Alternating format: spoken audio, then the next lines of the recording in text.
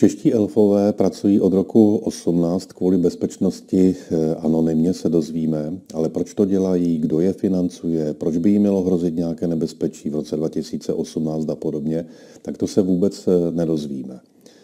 A eh, pokud tedy zapátráme do redakčních pravidel, tak základem, jedním ze základů redakční práce je nevěřit anonymům.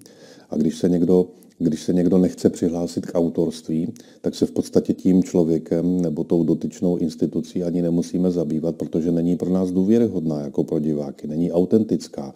Nemáme jak si ověřit eh, jeho nebo její totožnost, integritu, odbornost.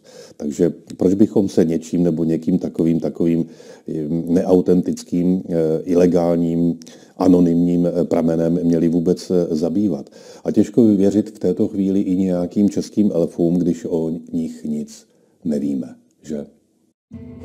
Paní Ivano, rozvod kvůli